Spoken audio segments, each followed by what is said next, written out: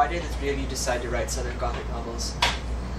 Um, well, we chose the South because we knew we wanted to write a fantasy and paranormal, and I am deeply. Margie loves the South. She secretly thinks she's moving to Charleston by herself. her family doesn't seem to think they're going with her, but we wanted to. I schedule trips just for eating. She does. She, we There's wanted. some big mosquitoes in Charleston. It's okay. There's propellant. Let me tell you about uh, 60 sugar bites and some. Oh, don't uh, don't talk about nail that and the clear nail polish. Don't talk about that. That's that. Oh. Had to be. a She knows, but um, I'm from there. Yeah. we um we wanted to write we wanted to place the book somewhere where it felt like magic could still happen yes. and you know between That's really religion and superstition and the history and the Exactly. cemeteries the south feels like a place where magic can still happen and a lot of people do like myself do believe in a lot of supernatural kind of mystical things that not everyone else might I do agree completely about the the melding of um,